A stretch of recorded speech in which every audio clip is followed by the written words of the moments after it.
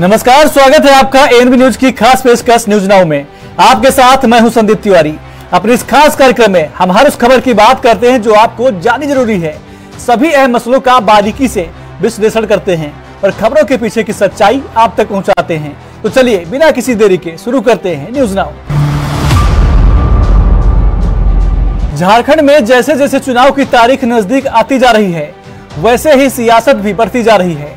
बात करें झारखंड विधानसभा चुनाव में इक्यासी सीटों का मुकाबला इस बार कुछ ज़्यादा ही रोचक हो गया है। झारखंड में दो चरणों में होने वाले चुनाव के मद्देनजर बीजेपी ने सबसे पहले छियासठ उम्मीदवारों के नामों की घोषणा कर दी। मुख्यमंत्री हेमंत सोरेन की भाभी सीता सोरेन को जामताड़ा से उम्मीदवार बनाया गया है। बाकी सीटें सहयोगी दलों के लिए छोड़ी गई हैं। क्या ये फार्मूला एनडीए दल के लिए कारगर साबित होगा? रिपोर्ट देखिए। बीजेपी ने की छाछठ उम्मीदवारों के नामों की घोषणा। झारखंड विधानसभा चुनाव 2024 में इक्यासी सीटों का मुकाबला इस बार कुछ ज़्यादा ही रोचक होगा। झारखंड में दो चरणों में होने वाले चुनाव के मद्देनजर बीजेपी ने सबसे पहले छाछठ उम्मीदवारों के नामों की घोषणा कर दी। बीजेपी ने प्रदेश अध्यक्ष बाबूलाल मरांडी धनबाद सीट से हाल में बीजेपी में शामिल हुए पूर्व सीएम चंपई सुरेन को सरायकेला और विधानसभा में नेता प्रतिपक्ष उमर कुमार बाउरी को चंदन कियारी सीट से उम्मीदवार बनाया। झारखंड पार्टी ने पाँच सीटों पर उतारे अपने उम्मीदवार। वहीं झारखंड पार्टी भी पाँच सीटों पर अपने उम्मीदवार उतार चुकी है। राज्य की सबसे पुरानी पार्टियों में से एक झापा ने चाईबासा सीट से कोलंबस हांसदा मनोहरपुर से महेंद्र जमूद से बेगा से आयरीन एक्का कांके से अनिल कुमार पासवान और कोलेबेरा से संदेश एक्का को अपना उम्मीदवार घोषित किया। उधर इंडिया गठबंधन ने भी सीट बंटवारे को लेकर आपस में तालमेल बना लिया है, जिसके तहत सत्तर सीटों पर जेएमएम और कांग्रेस उम्मीदवार उतारे जाएँगे। वहीं ग्यारह सीटों पर राजद, भाजपा सरीखे सहयोगी दल चुनाव लड़ेंगे। जल्द ही उनकी ओर से भी उम्मीदवारों के नामों का ऐलान कर दिया जाएगा। हम 60 से बासठ सीटों पर महागठबंधन की मदद करेंगे। सीट शेयरिंग पर राजद सांसद मनोज झा ने कहा कि जब 2019 का चुनाव यहाँ हुआ, तब हमारी पार्टी के राष्ट्रीय अध्यक्ष यहाँ थे। भारी मन से उन्होंने तब सात सीटों पर सहमति जताई थी, क्योंकि वो बड़े दिल वाले हैं। और उन्होंने कहा कि बीजेपी को हटाना लक्ष्य है। हम अपने लक्ष्य में सफल हुए। परसों शांतिपूर्वक माहौल में बातचीत हुई थी। हेमंत सोरेन वहाँ मौजूद थे। इस बात पर ज़ोर दिया गया कि हमें मिलकर चुनाव लड़ना है, लेकिन कल एक तरफा फैसला लिया गया। कहा गया कि सात सीटें दी जा रही हैं। जब हम बाद में शाम को फिर से उनसे मिले, जिसे मैं बहुत सौहार्दपूर्ण नहीं मानता। तो सीटें घटाकर तीन से चार कर दी गई। इसलिए कल और आज की हमारी बैठक में तय हुआ कि हम 60 से बासठ सीटों पर महागठबंधन की मदद करेंगे। वहीं झारखंड विधानसभा चुनाव पर जेएमएम सांसद महुआ माजू ने कहा, हमारी पार्टी से भी कई नेताओं को ले जाकर उन्हें टिकट दिया गया। वे खुद को एक मज़बूत पार्टी कहती है, लेकिन चुनाव के समय उन्हें टिकट देने के लिए कोई नहीं मिलता। हमारी अच्छी तैयारी है और इस बार भी बीजेपी की सरकार नहीं आएगी। ये तय है। लोगों ने मन बना लिया है। क्योंकि हमारे राष्ट्रीय अध्यक्ष पिछली बार, जब 19 में चुनाव यहाँ हो रहा था, वो यहीं थे। और उन्होंने कलेजे पे पत्थर रख करके सात सीटों के लिए सिर्फ़ इसलिए हामी भरी। भोला बाबू यहाँ बैठे हुए हैं। सिंबल भरा हुआ हमारे कैंडिडेट्स का। हमने विड्रॉ कर लिया। सिर्फ़ इसलिए कि उस विशाल हृदय व्यक्ति हमारे राष्ट्रीय अध्यक्ष कहा, गोल है बीजेपी को हटाना और उस गोल में कामयाब हुए। स्ट्राइक रेट हमारा सात लड़े, पाँच पे रनर अप रहे क्लोज अठारह सौ, दो हज़ार, ऐसे हारे। कई विधायक हिलने डुलने लगे। हमारा तो एक ही विधायक था, मंत्री थे सत्यानंद जी। कभी इनके बारे में सुना कि ये हिल डोल रहे हैं? कोई कलकत्ता में पकड़ा गया, कोई कहीं पकड़ा गया। तो ये प्रतिबद्धता थी कि हमने महागठबंधन को मज़बूत करने का काम किया। आप सब जानते हैं इंडिविजुअली आप लोग मैसेज भी करते हैं कि राजद का कम से कम 22 जगहों पर, कम से कम एक ऐसा जनाधार है जहाँ हम जीत तय करते हैं। चाहे वो जेएमएम के हमारे साथ ही लड़े या कांग्रेस के साथ ही लड़े। हेमंत जी को मुख्यमंत्री बनाया उसी संदर्भ में बार बार हम इस बात को दोहराते हैं। कल जिस बात को लेकर के आपसे कहा, हमारे नेता प्रतिपक्ष तेजस्वी जी, इंडिया गठबंधन के बनने में भी महती भूमिका थी। हमारे राष्ट्रीय अध्यक्ष लालू जी की। हम बीजेपी से पारंपरिक रूप से लड़ने वाले लोग हैं। हमारी आँख में चौनी कभी नहीं हुई। कईयों की हो गई। कई इस खेल के माहिर हैं। लेकिन राष्ट्रीय जनता दल ने अपने नेताओं का जेल जाना स्वीकार किया, प्रताड़ना सहना स्वीकार किया, लेकिन भाजपा के वॉशिंग मशीन के आगे नतमस्तक होना स्वीकार नहीं किया। ये है राष्ट्रीय जनता दल की थाती। आज भी जो बिहार के लोग, क्योंकि झारखंड और बिहार का एक नैसर्गिक रिश्ता है, अलग हुआ, लेकिन जो बिहार के लोग पारंपरिक रूप से यहाँ रह रहे थे, आज भी उनके लिए विकल्प राष्ट्रीय जनता दल है। एक बड़ी बहुजन आबादी जिसको अपना स्वर चाहिए, उसी स्वर का प्रकटीकरण था। हम आपको, जब नेता प्रतिपक्ष दो दफे, हम लोग गए, बड़ी सौहार्दपूर्ण बातचीत हुई परसों रात। हेमंत जी स्वयं थे, सारी बात हुई। इस संभावना पे बल दिया गया कि हमें मिल के लड़ना है, और बीजेपी की जो तमाम कोशिश है ED CBI IT election rigging के माध्यम से। उसको विराम देना। है लेकिन कल एक यूनिलैटरल डिसीज़न हुआ, जिसमें कहा गया कि साथ छोड़ा जा रहा है। शाम तक जब हम दोबारा बातचीत के लिए गए, जिसे मैं उतना सौहार्दपूर्ण नहीं मानूँगा, लेकिन उसमें जो व्यक्ति बातचीत के लिए थे हमारे वरिष्ठ नेताओं के साथ, हमारे प्रभारी हैं, केंद्रीय मंत्री रहे हैं। कई बार के विधायक रहे हैं लेकिन थोड़ा कष्ट हुआ।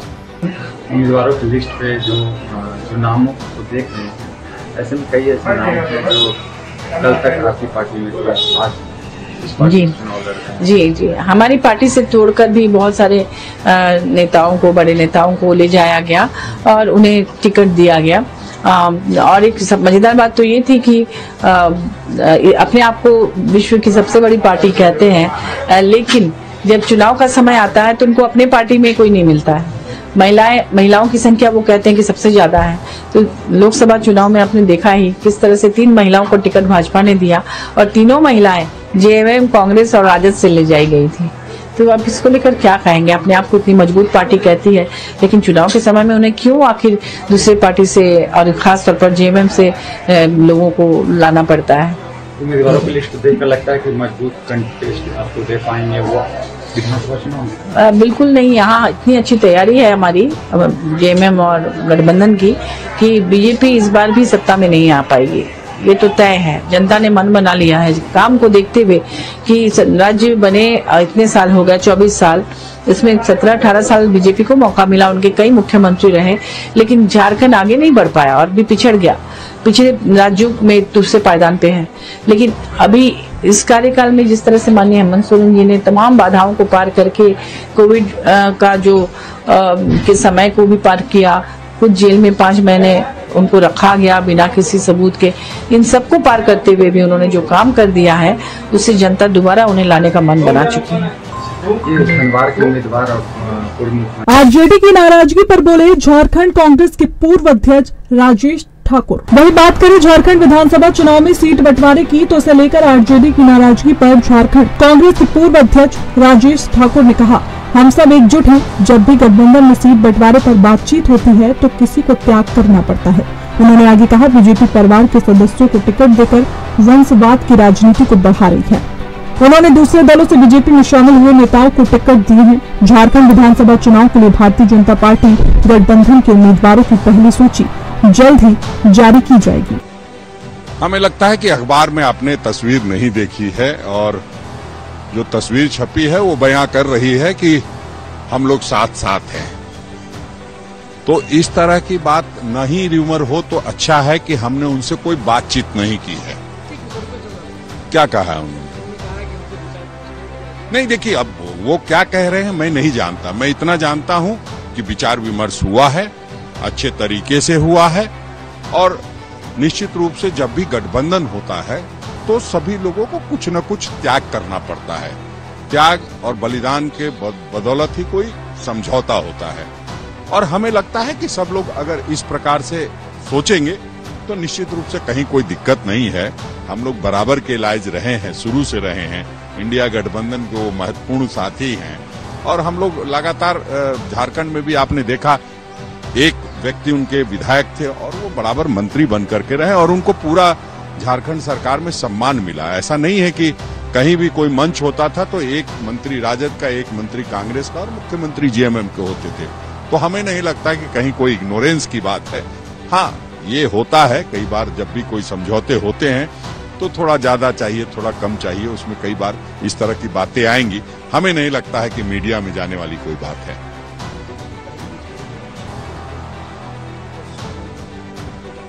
नहीं देखिए कुछ नहीं कहना है। भारतीय जनता पार्टी को अगर झामुमो जैसी पार्टी और हम लोगों जैसी पार्टी नहीं रहती तो उम्मीदवार का अकाल पड़ा हुआ था। आपने लिस्ट जो देखा है जो लोग वंशवाद की बात करते थे उन्होंने बाप बेटे को टिकट दिया कि नहीं? और झामुमो से लेके दिया? हमारी बहू को टिकट दिया कि नहीं दिया? कांग्रेस से ले जाकर के एक आ, सदस्य को दिया तो टिकट? तो इसका मतलब है कि पूरी तरह से वो अभाव में थे और निश्चित रूप से हम लोग सबकी मदद करने वाले लोग हैं। निश्चित रूप से हमने ऐसा ऐसा नेतृत्व पैदा किया है जिनके बगैर उनका काम नहीं चलता है। आज जो हेमंता इतनी बड़ी बड़ी बातें करते हैं और जो उनके सहारा और खेवनहार बने हुए हैं, उनका भी जन्म कांग्रेस में ही हुआ है। तो हमें लगता है ज़रूरत है बेचारों को तो मदद लेनी चाहिए। देखिए, कांग्रेस इक्यासी सीटों पर चुनाव लड़ रही है। नहीं नहीं, बिल्कुल, देखिए जब इंडिया गठबंधन चुनाव लड़ी और कांग्रेस इंडिया गठबंधन का निर्माता में रही है और जो संस्थापक सदस्यों में से है तो निश्चित रूप से जब भी कांग्रेस बात करेगी तो इक्यासी सीटों की बात करेगी और इक्यासी सीटों पे हम चुनाव लड़ेंगे। हमारे कार्यकर्ता इक्यासी सीटों पे तैयारी किए हैं तो निश्चित रूप से जो भी हमारा इंडिया गठबंधन का उम्मीदवार होगा, हम लोग सब लोग साथ मिलकर लड़ेंगे। बहुत जल्द आएगी। और जैसे ही आएगी सबसे पहले एएनआई को बताया जाएगा। हालाँकि सीएम हेमंत सोरेन ने कोई भी आंकड़ा पार्टियों के लिहाज से नहीं दिया लेकिन इतना ज़रूर बताया कि 11 सीटें राजद और लेफ़्ट पार्टियों के लिए छोड़ गई हैं। आगे ये जानकारी दी जाएगी कि कौन कितनी सीटों पर कहाँ से लड़ेगा। उन्होंने कहा कि 11 सीटों पर राजद और सीपीआई एमएल अपना उम्मीदवार उतारेगा। Special desk A news Maharashtra में सीटों के बंटवारे को लेकर हलचल थमने का नाम नहीं ले रही है। महाराष्ट्र विधानसभा चुनाव को लेकर बीजेपी ने अपने उम्मीदवारों की पहली लिस्ट जारी कर दी है। इसमें पार्टी ने निन्यानवे प्रत्याशियों के नाम का ऐलान किया है। बीजेपी ने उप मुख्यमंत्री देवेंद्र फडणवीस को नागपुर, दक्षिण, पश्चिम और पार्टी प्रदेश अध्यक्ष चंद्रशेखर बावन पुले को कामठी विधानसभा सीट से चुनावी मैदान में उतारा है। रिपोर्ट देखिए।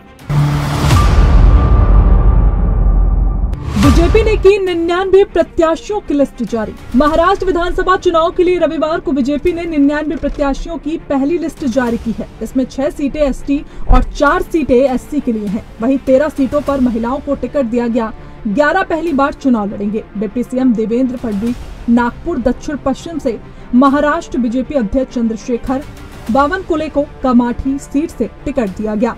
महाराष्ट्र के पूर्व सीएम अशोक चाणक की बेटी श्री जया चाणक को भोकर और पूर्व केंद्रीय मंत्री राव साहेब दानवे के बेटे संतोष दानवे को भोकरदन सीट से टिकट मिला। विधानसभा अध्यक्ष राहुल नार्वेकर को कोलाबा से और नीतीश राणे को कांकावली से चुनाव लड़ने के लिए मैदान पर उतारा गया। नार्वेकर, शिवसेना और एनसीपी विधायकों की सदस्यता खत्म नहीं करने को लेकर विपक्ष के निशाने पर रहे हैं। नीतीश राणे मुस्लिम विरोधी बयानों को लेकर विवादों में हैं। टिकट मिलने पर प्रत्याशियों ने पार्टी का किया धन्यवाद। तो वहीं जिन प्रत्याशियों को पार्टी ने टिकट देकर चुनाव में उतारा है तो उनका कहना है कि वे अगर चुन कर आते हैं तो पूरी ईमानदारी के साथ प्रदेश के विकास में सहयोग करेंगे। वहीं पुणे की पर्वती विधानसभा सीट से टिकट मिलने पर बीजेपी नेता माधुरी मिसाल ने कहा, मैं पार्टी का धन्यवाद करना चाहती हूँ कि उन्होंने मुझे चौथी बार काबिल समझते हुए टिकट दिया। मैं उनके विश्वास पर खरी उतरूँगी और हम पर्वती विधानसभा में जीत हासिल करेंगे। इसके साथ ही बेलापुर विधानसभा क्षेत्र से टिकट मिलने पर बीजेपी नेता मंदा विजय महात्र ने कहा, मैं हाईकमान और राज्य के मुख्यमंत्री और उप मुख्यमंत्री को तीसरी बार लोगों की सेवा करने का मौका देने के लिए धन्यवाद देना चाहती हूँ। मैं कड़ी मेहनत करूँगी और अपनी जिम्मेदारियों को पूरा करने की कोशिश करूँगी। और घाट कोपर पश्चिम विधानसभा क्षेत्र से टिकट मिलने पर बीजेपी नेता राम कदम ने कहा, मुझे ये ज़िम्मेदारी देने के लिए मैं पार्टी हाईकमान का शुक्रिया अदा करता हूँ। मैं यहाँ कई विकास कार्य कर रहा हूँ और यहाँ के लोगों के लिए काम करना जारी रखूँगा। पहली रिएक्शन तो मैं पार्टी का धन्यवाद देना चाहती हूँ कि उन्होंने मुझे चौथी बार वापस ये काबिल समझा और उन्होंने मुझे पार्टी का टिकट दे दिया है। इसलिए मैं सभी नेताओं को धन्यवाद देना चाहती हूँ और उन्होंने मुझे जो विश्वास दिखाया है, वो विश्वास मैं साफ़ करूँगी। और ये बार भी पर्वती विधानसभा हम लोग बहुमत से जीतेंगे और महायुति में एक पर्वती होगी।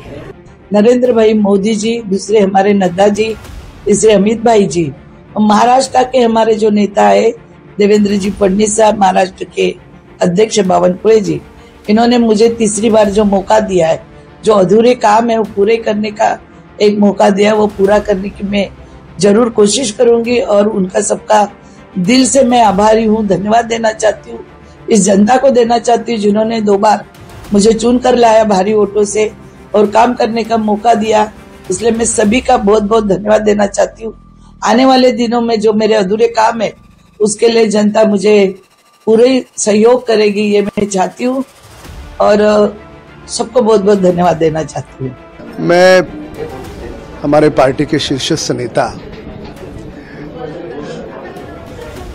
आदरणीय नरेंद्र मोदी जी, जो देश के प्रभावी प्रधानमंत्री जी हैं, अमित शाह जी जे पी नड्डा जी, और महाराष्ट्र के हमारे आदरणीय देवेंद्र फडणवीस जी, इनकी छवि एक भगवान इंसान करके है। हमारे प्रांत अध्यक्ष बावनकुळे जी, इन सभी को दिल से धन्यवाद देता हूँ।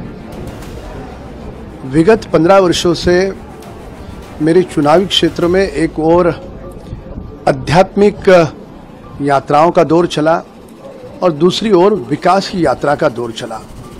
साढ़े पाँच से छः हज़ार करोड़ के प्रोजेक्ट में घाटकोर में लाने में मुझे सफलता मिली। काशी, अयोध्या, केदारनाथ, इस प्रकार की कई यात्राएँ हज़ारों लोगों को कराते समय लोगों के मुफ़्त ऑपरेशन करना देश का सबसे बड़ा रक्षाबंधन घटकोर में होता है, सबसे बड़ी मटकी घटकोर में होती है। इस प्रकार के कई सारे काम विगत पंद्रह वर्षों से मैं कर रहा हूँ। घाटकोपर का यात्रा पैटर्न महाराष्ट्र सरकार, एमपी सरकार ने भी उसे दोहराया। यह घाटकोपर की जनता की जीत है और इसी विश्वास पर, इसी आधार पर फिर से एक बार घाटकोपर से भाजपा का ही महायुति का उम्मीदवार चुन करके आएगा। पिछले दिनों हमने देखा कि ये चर्चा शुरू थी कि आपका जो है नाम इस बार विधानसभा चुनाव में नहीं डिक्लेयर किया जाएगा और अब आखिरकार जब नाम डिक्लेयर हो गया है क्या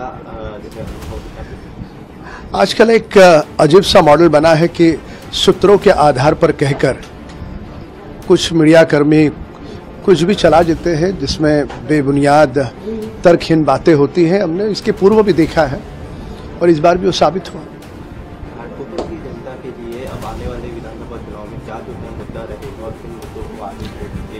केवल और केवल विकास का मुद्दा ईमानदारी से उनका काम और उनके लिए हमेशा उपलब्ध रहना इन मुद्दों के आधार पर और चुनाव के समय अब पंद्रह वर्षों से काम कर रहा हूँ लोगों को पता है।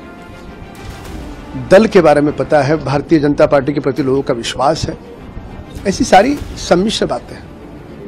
महाराष्ट्र में अगर देखा जाए तो बीजेपी की पहली सूची जारी हो गई है लेकिन महाविकास आघाड़ी जो है अभी भी सीट बंटवारे को लेकर फाइनल नहीं हो रही है इस पर फाइनल चर्चा नहीं हो रही है महाविकास आघाड़ी की ओर और बीजेपी की दूसरी तरफ़ लिस्ट जारी हो गई है। आप उसे विकास आघाड़ी कह रहे हैं हम उसे वसूली आघाड़ी कहते हैं। ये अंतर है।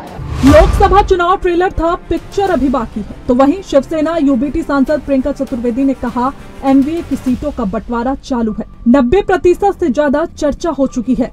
10 प्रतिशत बचा है, हम वो भी कर लेंगे।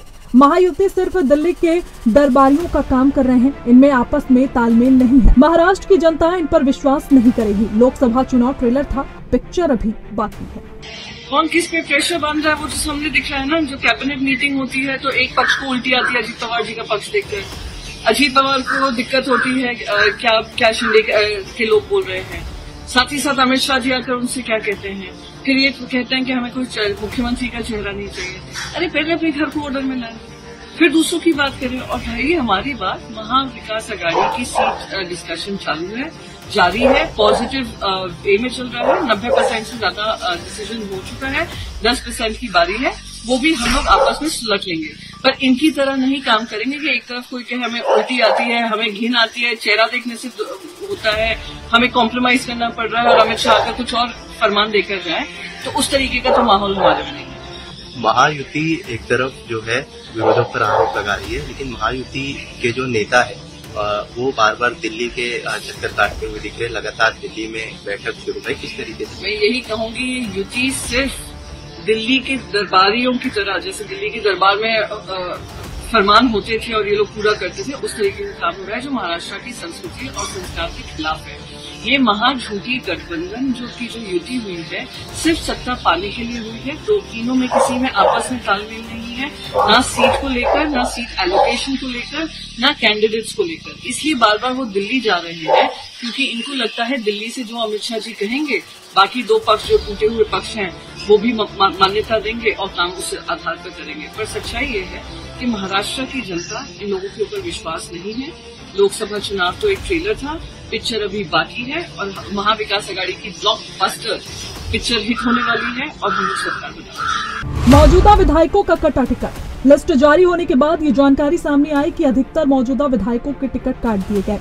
कल्याण ईस्ट में गणपत गायकवाड़ का टिकट कटा। वे फायरिंग के आरोपी हैं। उनकी पत्नी सुलभा गायकवाड़ को उम्मीदवार बनाया गया है।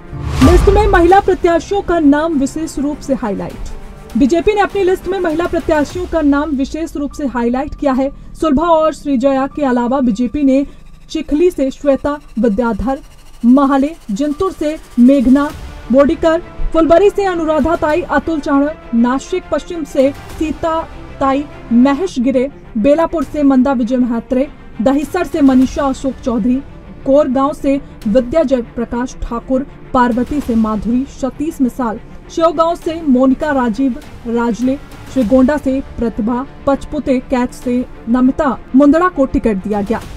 पिछले चुनाव में हुआ था बीजेपी को सीटों का नुकसान। बीजेपी ने 2019 के चुनाव में एक सौ बावन सीटों पर चुनाव लड़ा था। उस वक्त की अविभाजित शिवसेना को 124 सीटें दी गई थी, जबकि बाकी 12 सीटें एनडीए के अन्य साझेदारों को मिली थी। बीजेपी ने 2019 में 105 सीटों पर जीत हासिल की थी। उसे 2014 चुनाव के मुकाबले 17 सीटों का नुकसान झेलना पड़ा था। इस बार भी बीजेपी 100 से ज़्यादा सीटों पर चुनाव लड़ने वाली है। हालाँकि अभी महायुति में सीट साझेदारी का फाइनल आंकड़ा नहीं आया है। Special desk ANB news. प्रधानमंत्री मोदी अपने संसदीय क्षेत्र वाराणसी के दौरे पर हैं। दौरे के दौरान योगी आदित्यनाथ भी उनके साथ थे। इस दौरान प्रधानमंत्री ने वाराणसी में देश भर से जुड़ी स्वास्थ्य शिक्षा, खेल, धर्म पर्यटन से रोज़गार आवास विमानन की छह हज़ार छह सौ ग्यारह दशमलव एक आठ करोड़ रुपए की तेईस परियोजनाओं का लोकार्पण शिलान्यास किया। प्रधानमंत्री वाराणसी एयरपोर्ट के विस्तारीकरण व नए टर्मिनल भवन की नींव भी रखी। इसके साथ ही उन्होंने आरजे शंकरा नेत्र चिकित्सालय को लोगों को समर्पित किया। रिपोर्ट देखिए। पीएम मोदी का वाराणसी दौरा। प्रधानमंत्री नरेंद्र मोदी अपने संसदीय क्षेत्र वाराणसी दौरे पर हैं, जहाँ उन्होंने शंकरा आय अस्पताल का उद्घाटन किया। इस अवसर पर पीएम मोदी ने कहा कि अस्पताल वाराणसी और क्षेत्र के अनेकों लोगों के जीवन से अंधकार दूर करेगा। उन्हें प्रकाश की ओर ले जाएगा। यह अस्पताल बुज़ुर्गों की भी सेवा करेगा और बच्चों को भी रोशनी देगा। यहाँ बहुत बड़ी संख्या में गरीबों को मुफ़्त इलाज मिलने वाला है। यह अस्पताल यहाँ के युवाओं के लिए रोज़गार के अवसर लेकर आया है। बड़ी संख्या में गरीबों को इलाज मिलेगा। वाराणसी संबोधित करते हुए प्रधानमंत्री नरेंद्र मोदी ने कहा, मैं इस नेत्र अस्पताल को देख कर आया हूँ। एक प्रकार से आध्यात्मिक और आधुनिकता का संगम है। यहाँ बड़ी संख्या में गरीबों को इलाज मिलेगा। यह अस्पताल यहाँ के युवाओं के लिए भी नया अवसर लेकर आया है। यहाँ के अनेकों लोगों को काम मिलेगा। यहाँ मेडिकल छात्रा इंटर्नशिप और प्रैक्टिस कर पाएँगे। सपोर्ट और स्टाफ के रूप में भी यहाँ के अनेक लोगों को काम मिलेगा। इसके साथ ही वाराणसी में आरजी शंकरा नेत्र चिकित्सालय का उद्घाटन समारोह को संबोधित करते हुए उत्तर प्रदेश के मुख्यमंत्री योगी आदित्यनाथ ने कहा, आरजी शंकरा नेत्र चिकित्सालय के उद्घाटन में मैं आप सभी का स्वागत करता हूँ। काशी हर दिन बढ़ रही है। यहाँ के कई विकास कार्य हुए हैं। वाराणसी और इस क्षेत्र के अनेकों लोगों के जीवन से अंधकार दूर करेगा। उन्हें प्रकाश की ओर ले जाएगा। मैं अभी इस नेत्र अस्पताल को देखकर आया हूँ। एक प्रकार से ये आध्यात्मिकता और आधुनिकता का संगम है। ये अस्पताल बुज़ुर्गों की भी सेवा करेगा और बच्चों को भी नई रोशनी देगा। यहाँ बहुत बड़ी संख्या में गरीबों को मुफ़्त इलाज मिलने वाला है। ये नेत्र अस्पताल यहाँ के युवाओं के लिए रोज़गार के भी नए अवसर लेकर आया है। यहाँ मेडिकल कॉलेजों के छात्र इंटर्नशिप कर पाएँगे, प्रैक्टिस कर पाएँगे सपोर्ट स्टाफ के तौर पर भी यहाँ के अनेकों लोगों को काम मिलेगा।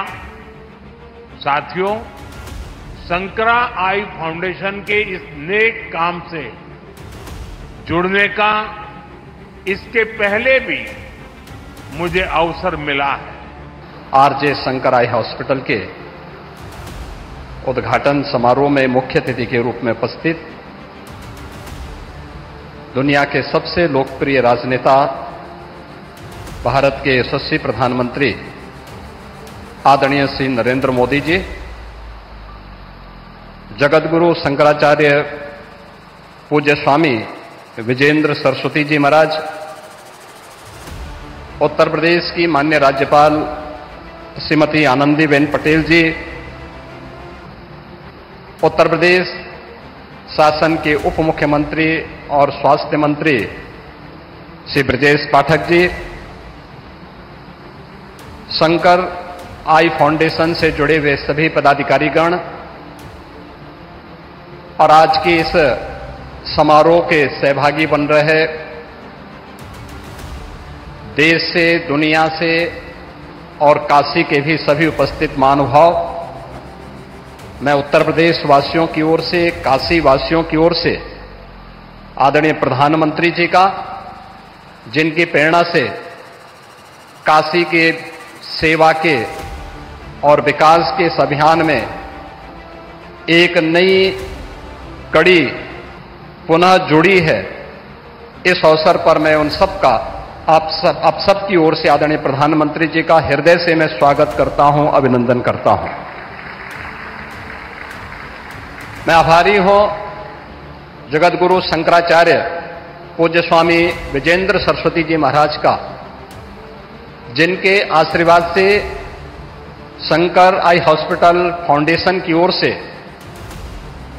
उत्तर प्रदेश में शंकर आई हॉस्पिटल की इस द्वितीय शाखा का शुभारंभ आज प्रधानमंत्री जी के उद्घाटन के साथ ही काशी में आज होने जा रहा है। Shankar eye hope foundation. देश के अंदर नेत्र रोगियों को एक नया जीवन देने का एक प्रतिष्ठित अभियान है।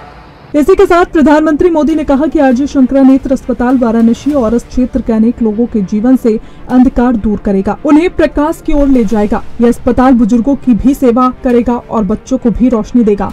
यहाँ बहुत बड़ी संख्या में गरीबों को मुफ़्त इलाज मिलने वाला है। यह अस्पताल यहाँ के युवाओं के लिए रोज़गार के अवसर लेकर आया है। Special desk A news news now में मेरे साथ बस इतना ही। आप देखते रहिए एएनबी न्यूज़ नमस्कार।